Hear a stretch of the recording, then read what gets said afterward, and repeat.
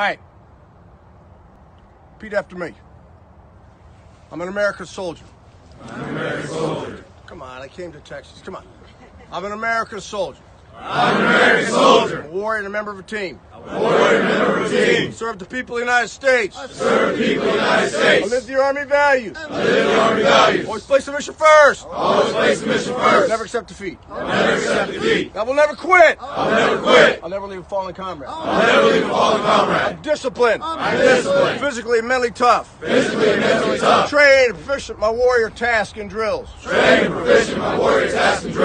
Always maintain my arms, Always maintain my arms, my equipment, my equipment, and myself. and myself. I'm an expert I'm an expert and professional. and professional. I stand ready to deploy, I stand ready to deploy, engage and destroy engage and destroy the enemies of the United States. the enemy of the United States. Close combat. Close combat. I'm a guardian of freedom I'm a guardian of and freedom. the American way of life. The American way of life.